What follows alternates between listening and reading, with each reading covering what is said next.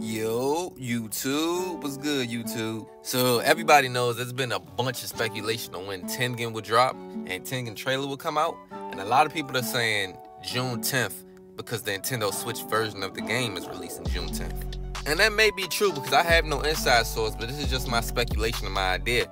So I was looking up, right?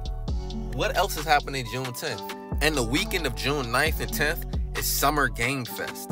So what better way to announce a paid DLC than at a Summer Game Fest, bro? And of course, I did a little research. You know, Demon Slayer is under Sega. Those are the publishers. I think it's called publishers. but Sega will be there. So I'm thinking we'll get the actual trailer and release date or some type of information on June 9th or 10th at Summer Game Fest because Sega will be there. Instead of it, instead of Tengen coming out with their Nintendo Switch version, I'm thinking they'll announce it then because we still don't know the price. We still don't really know how many characters or if it's a season pass. We just have, we need a lot of new information.